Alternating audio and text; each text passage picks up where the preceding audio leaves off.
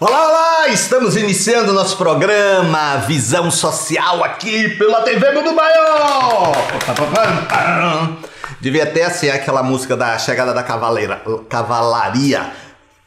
Poxa, eu, falei e não lembro qual é a música. Você lembra aquela da cavalaria americana? Poxa, é do seu tempo, aqueles filmes de cowboy assim, índios, já, a partir dali já se pregava, né? Essa coisa do dizimar o índio, que o índio era o bandido, né? Os mocinhos eram os invasores.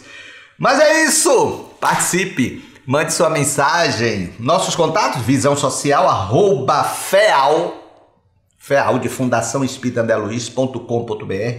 Cidade da Luz, arroba cidadedaluz.com.br e o nosso WhatsApp 71 999 44 2311 71 999 44 2311. Não sei a hora que você está vendo, mas você pode ver o nosso programa inédito. Não é? Os domingos, das 12 às 12h30, você já está em casa se preparando para almoçar. Aí você assiste, depois você vai almoçar, porque você não vai almoçar meio-dia no domingo.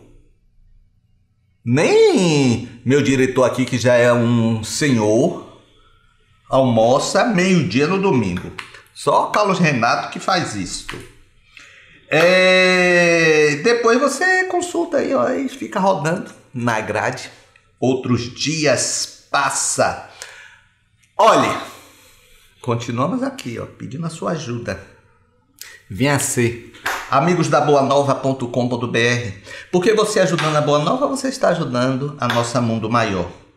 Se você quer informação de como você pode colaborar e queira colaborar, a gente aqui precisa tanto. Eita! A gente aqui precisa tanto. Olha, vocês sabem aqui na Bahia a gente tem um dito. Quando a gente tá falando uma coisa assim com ênfase, com verdade, e acontece uma coisa assim de algo cair, tão certo assim, quer dizer, o que eu estou dizendo é verdade. Então, se você quiser mais informações, 0800 12 18 38. Aqui estão minha mãe e minhas sobrinhas. Ah, estava encostada aqui assim, não foi? Pronto. Aí estão de volta. Meus amigos, olha.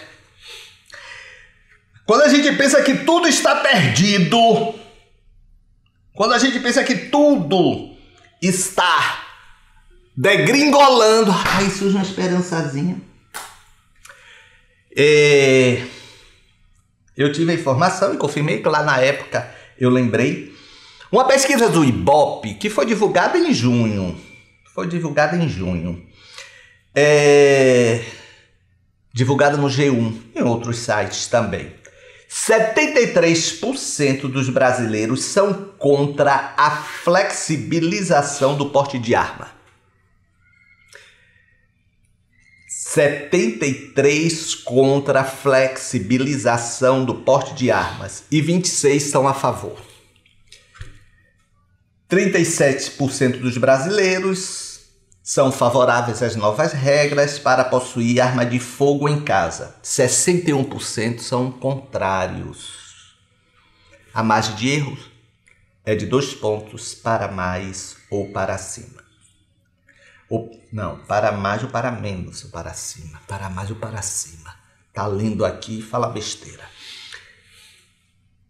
Em junho, essa pesquisa foi feita. Olha, eu fiquei muito satisfeito. Eu quero ver agora o que é que o governo federal vai fazer, porque o governo tem mania de tomar determinadas atitudes dizendo que o povo quis desta forma, mas o povo se manifestou fragorosamente, fragorosamente contra. E aí? O presidente, quando assumiu, disse que era para ser presidente do Brasil inteiro, não apenas de quem, não apenas de quem votou nele. E aí? E aí? Meus amigos, não tem o menor sentido. Eu não entendo, eu não entendo, eu não entendo. Meu Deus. Se sabe claramente que isto não resolve problema de violência, só vai se colocar mais arma. A interesse de quem? Dos milicianos? A interesse de quem? mais armas. Hoje, olha, há pesquisas para tudo se vê que nos países que têm liberalização para porte, para condução de arma, o que for, não diminuiu violência. A gente toda hora vê aí nos Estados Unidos. Agora, porque por lá vai terão novas eleições o, o ano que vem, não é? Ou daqui dois anos, sei lá. Aí já está vendo o presidente Trump, já está mudando um pouco do discurso. Aí vamos ver se a gente faz uma pesquisa maior nos antecedentes. É claro. Mas, mas é isto. É preciso que se tenha mesmo um, um compromisso, não retroagir. Aí agora se tira também. Eu não entendo não, eu não entendo não, viu, meu diretor? Eu não entendo não. Aí a determinação do presidente de se tirar os radares móveis. Ah, um grupo gostou. Eu fico pensando o seguinte: gostou quem anda chutado, quem ultrapassa, por que, que anda ali nas margens? Não é? No balizamento da lei, não nas margens, no balizamento das, das leis, é indiferente, a mim é indiferente se vão tirar os radares ou não, eu ando em conformidade com a lei. E as pessoas não raciocinam. As pessoas não raciocinam que isso é só para beneficiar o, o que burla o infrator. Só eles. Mas é isso aí, vamos pra frente que, como se diz, atrás vem gente e nem sempre é gente com bons sentimentos, viu? Nem sempre é gente com bons sentimentos.